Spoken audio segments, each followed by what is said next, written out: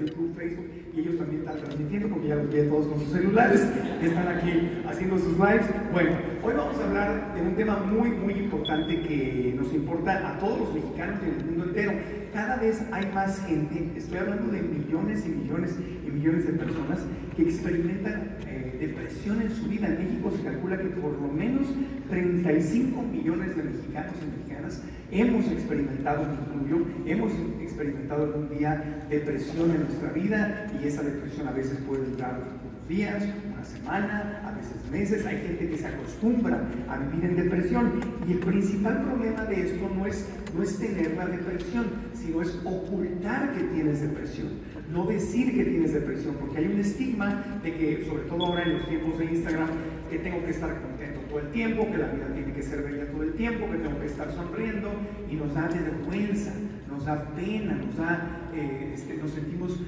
débiles o que nos van a criticar si decimos que estamos tristes o que tenemos una depresión. Y al no decirlo, pues no nos tratamos y no recibimos la ayuda. Y eso puede repercutir en cosas mucho, mucho más fuertes. Así que ese es uno de los temas de los que vamos a hablar hoy. Nos estará acompañando Omar Bustillos, que es psicólogo, y también Alejandra Guerrero, que también es psicóloga eh, y expertos este tema. Estará también con nosotros acompañándonos el presidente municipal de Chihuahua, Marco Bonilla, que ya lo vi por allá sentado